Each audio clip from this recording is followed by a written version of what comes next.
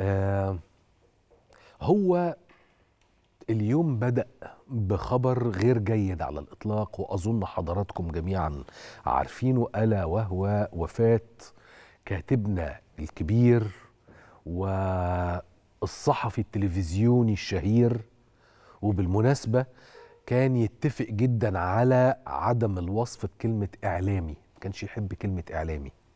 أستاذ مفيد فوزي الله يرحمه أستاذ مفيد يمكن رحل عن دنيانا صباح هذا اليوم.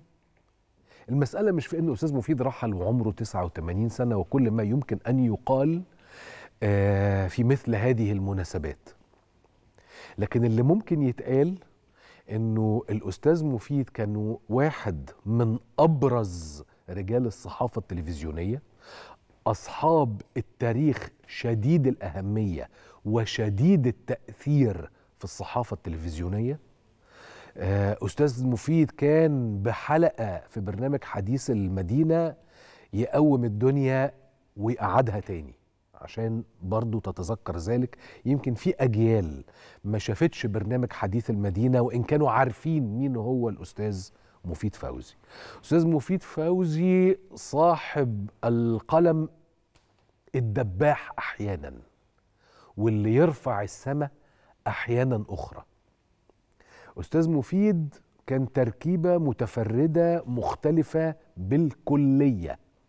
خد بالك أستاذ مفيد هو واحد من الجيل بتاع الكبار اللي بيسموهم الجيل الذهبي لمؤسسة روزا اليوسف بمطبوعاتيها الشهيرتين مجلة روزا اليوسف ومجلة صباح الخير واللي ترأس تحريرها فترة من الفترات أيضا الرائعة في تاريخ صباح الخير. وطبعا مؤخرا المؤسسة لديها جريدة روزا اليوسف. الجيل بتاع الأستاذ مفيد آه هو الجيل الأهم في الصحافة المصرية وجيل حتى مختلف عن الجيل الأكبر منه ويراه المذيع أكثر أهمية من الجيل السابق وقد يختلف البعض. أنا بقول لك يراهم المذيع في حالتي. أستاذ مفيد تقدر تقول إنه هو رائد مؤسس في مصر وفي المنطقة العربية لما يطلق عليه في مهنتنا وصحافتنا وصناعتنا character based show يعني البرنامج اللي مبني على المذيع. هذا الرجل الرائع اللي صورته قدام حضراتكم. وليه جانب إنساني أكتر من رائع. وليه حس كان مهم قوي. الحس بتاع المتابعة وده حس جيل الأستاذ مفيد اللي بيتابعوا طول الوقت ناس بتتابع طول الوقت الجيل ده وزي الأستاذ مفيد كده يتابع كل التفاصيل اللي بتحصل في الحياة مش بس اللي بتحصل في مصر ومش بس اللي بتحصل في المنطقة العربية بتحصل في الحياة. فتجده متابعا مذهلا يسبقك كتير. وأستاذ مفيد لو شكر فيك اطلع السما. ولو أستاذ مفيد كتب عنك نقد يا ده يا دقي أستاذ مفيد في جانبه الإنساني كان ودودا جدا. الناس يمكن كانت بتشوف الكاركتر بتاع أستاذ مفيد اللي يستفز عقلك ويخليك قاعد عمال بتتابع وأحيانا تبتسم وأحيانا تقول هو إزاي بيعمل كده. بس لما يبقى الكبير هو اللي بيسأل عليك. هو اللي يتكلم في التليفون يقول لك طمني عليك يا يوسف بطريقته اللي هتفضل طول الوقت محفورة في أذهاننا بالمناسبة. أستاذ مفيد اللي يفاجئ مثلا الكبير العظيم الله يرحمه يا رب أستاذ فؤاد المهندس ويدخل عليه المسرح في الفترة بتاعة استعدادات الأستاذ فؤاد علشان طالع على الخشبة فيقول له إيه؟ خضتني يا أخي وقطعت عزلتي وحبل أفكاري. أنا بقعد شوية أحضر نفسي للوقوف قدام على خشبة المسرح قدام الجماهير. وده الأستاذ فؤاد يعني فأنا برضه شوف إزاي كان يقدس مهنته. فأستاذ مفيد يعتذر يقول له طب أنا آسف يعني بس أنا كنت حابب إن أنا أعرف بتعمل إيه قبل ما تطلع على الخشبة وتستعد. فكرة أستاذ مفيد في إنه دائما يقدم لك غير المألوف ومش غير المألوف بإسفاف. غير المألوف بما يحترم عقلك ويحترم مبادئك وأخلاقك. وغير المألوف بما يحترم كود الصحافة المصرية الكود الأخلاقي والكود المهني للصحافة المصرية.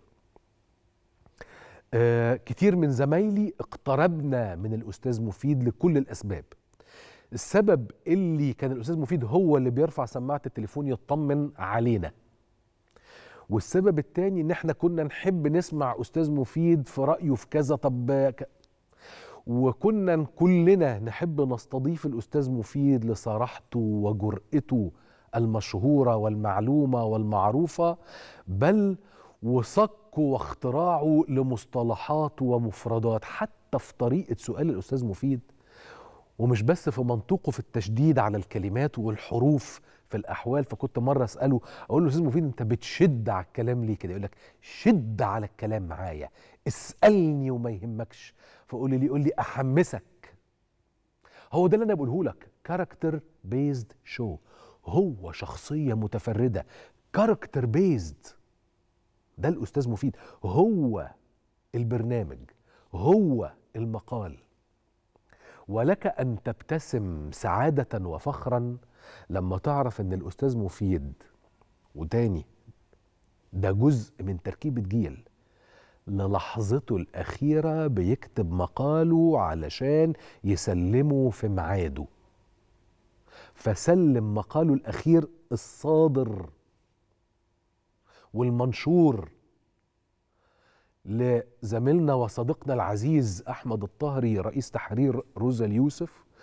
والجميل والرائع إنه طهري نشر المقال المرة دي بخط الأستاذ مفيد مش بالطباعة مش بالحروف المرصوصة في المطبعة بخط الأستاذ مفيد. وده الجميل والرائع مش بس الذكي في الطهري والحقيقة أيضا وده يخليني برضو يعني أقولها لكم هنا عشان تعرف برضو فكرة احترام الأجيال واحترام الأسماء واحترام القامات واحترام التاريخ.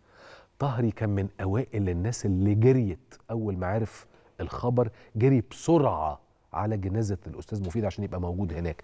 فيبقى طهري اللي عاصر أستاذ مفيد فوزي وطهري رئيس تحرير المجلة اللي بينشر فيها الأستاذ مفيد فوزي.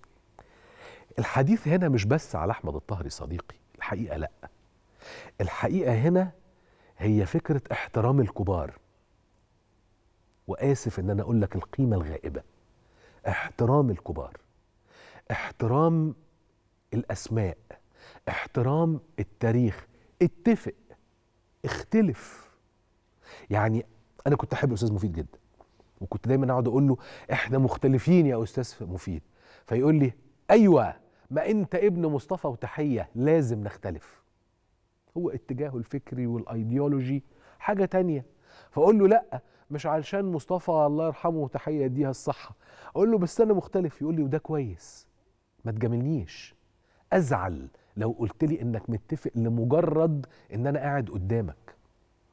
هنا تحب الأستاذ مفيد تحترم الأستاذ مفيد. وأظن إنه يمكن دي أقل حاجة الواحد يقدمها النهارده في الكلام عن الأستاذ مفيد فوزي. 1933 اتولد في الصعيد في بني سويف. وأستاذ مفيد لما اتخرج من الكلية اشتغل في الصحافة والتحق بمؤسسة روزا اليوسف ومارس الصحافة الفنية. وبعد كده بدأ يمارس الإعداد البرامجي من خلال برامج الإذاعة. هنا في ماسبيرو. الإعداد اولا ثم التقديم ثانيا في الإذاعة تحديدا. يعني أعد الحلقات والبرامج وقدم البرامج في إذاعة الشرق الأوسط الشهيرة الغراء اللي طلع منها أساتذتي اللي علموني يمكن أقول لكم بقى الثلاث أسماء اليوم فضل كبير عليا وكانوا زملاء أيضا الأستاذ مفيد فوزي أستاذة صناء منصور أستاذة صديقة حياتي ربنا يديهم الصحة يا رب وطولة العمر والأستاذ محيي محمود المذيع والكاتب والشاعر والأديب رحمة الله عليه. فشاركهم التقديم وقدم. وبعدين شفنا الأستاذ مفيد على التلفزيون وهو بيعمل برنامج حديث المدينة الشهير بل أكاد أقول لك الأشهر في مرحلته. اعلى مشاهده لبرنامج على شاشة التلفزيون المصري كان حديث المدينة. مصر كلها بتقعد تتفرج. من يتفق من يختلف من يحب من يستفز الكل يشاهد حديث المدينة. آه هذا الطريق فيه كذا وكذا و. ده أستاذ مفيد لوجو حديث المدينة. من أي المكتبات المنزلية كما هو واضح كان يقدم الأستاذ مفيد هذه الحلقة. ما بقاش مهم بس المهم الراجل ده بتاريخه وباللي قدمه. شاف مرة في حلقة من الحلقات طريق بايظ خد بعضه وخد الكاميرا. وبالمناسبة هنا عشان قلنا الكاميرا كان التتر بتاع البرنامج يتكتب عليه كاميرا حمدي السبروت. زمايلي أكيد هنا بقى عارفين كويس جدا الاستاذ حمدي. كاميرا كده كاميرا أو عدسة حمدي السبروت الأستاذ حمدي السبروت.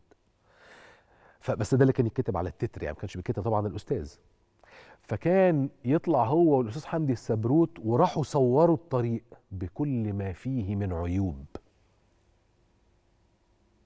وطالب في الحلقة إنه إزاي مصر يبقى فيها طريق زي ده؟ ولازم الطريق يتغير. الدنيا قامت. إيه اللي بيحصل ده؟